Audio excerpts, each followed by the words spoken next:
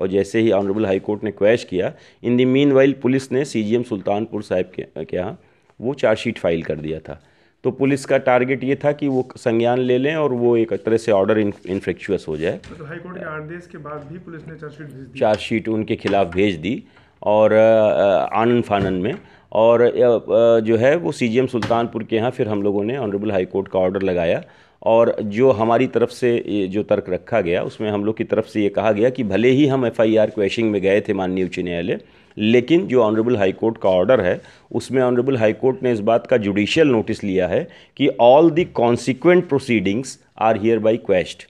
यानी एफआईआर दर्ज होने के बाद जितनी भी एन बी डब्ल्यू बयासी या चार्जशीट जो भी पुलिस ने फ़ाइल किया है, against one of the accused Firoz alias Jalees is all the consequent proceedings are hereby quashed तो माननीय उच्च न्यायालय ने एंटायर प्रोसीडिंग को उस मुलजिम के लिए क्वेश्च किया है। इस बात से संतुष्ट होते हुए सुल्तानपुर में सीजीएम साहब ने आ, उस ऑर्डर को आ, जो है अनुपालन किया और जो है पूरी की पूरी proceeding for one of the applicant वो एक तरह से अबेट कर दिया। एक अब अब जलीस जो हैं ही is no more accused in this